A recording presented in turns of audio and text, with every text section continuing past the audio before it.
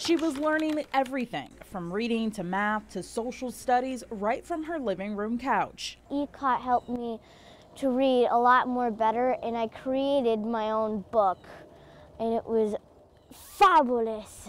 Third grader Nina has spent the last two years in ECOT, Ohio's largest online charter school. Her mom, Laura Hanrahan, calls it a godsend. My daughter, Nina, she has a 504 plan, eyesight issues, um, also anxiety issues, PTSD. In addition to getting the special attention Hanrahan says her daughter desperately needs, she's also away from school bullies. Somebody tried to steal my glasses and break them, and people try to just be really rude to me. But late Thursday, the Lakewood residents learned ECOT is no more. I just feel so lost.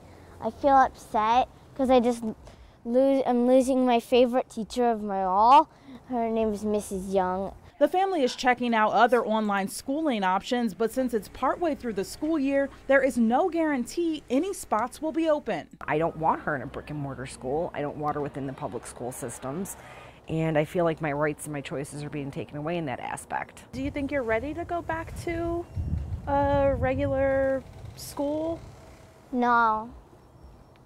I just don't think it, it won't be easy, you know, and I just don't think so.